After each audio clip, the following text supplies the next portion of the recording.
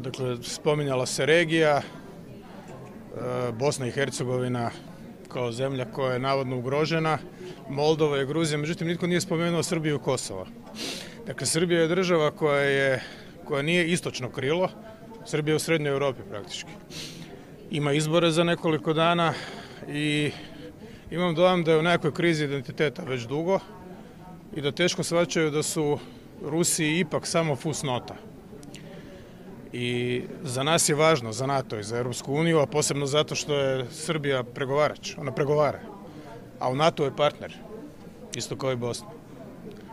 Da to bude stabilna zemlja koja ima jasnu zapadnu perspektivu, da im se to u ovoj situaciji malo jasnije ponudi, pa ako shvate, shvate, ako, ako ne shvate, ne shvate, ali to je svakako prilika koja se ne smije propustiti. Na kraju odlučit će sami.